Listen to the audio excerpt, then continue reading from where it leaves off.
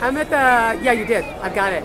I've got the Pachyderm Power Booth with Crystal Parks. Parks, Okay. yes. And this is what she does. She does uh, trips to Africa. You hire anti-poaching people in Africa. Um, do you have a you have an elephant reserve in Africa? You have a No, no, I work with an elephant sanctuary. It's You work with an elephant not- You know, try to support them. I take people to Africa to experience elephants in the wild, to support the villagers, the efforts to live in harmony with the elephants. Yeah. And so I do school shows, I do elephant tours, I do camp. Uh, uh, What's right- going on though? Well, that was never Oh, watch this, watch this, watch this. Oh, you missed it. No, I actually I saw it, but I didn't get it on camera, which is probably good. No, I had a censored thing. Did you see? Elephant? No, I didn't see it. I missed it. Darn. But anyway, you're in. You're helping to so- save elephants. Yeah.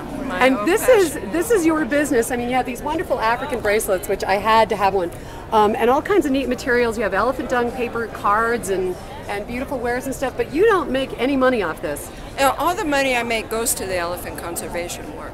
I support myself as a children's entertainer, and I also support myself as a tour guide. So that, that's why when people donate, it can go 100% to elephant conservation, which is really won- wonderful.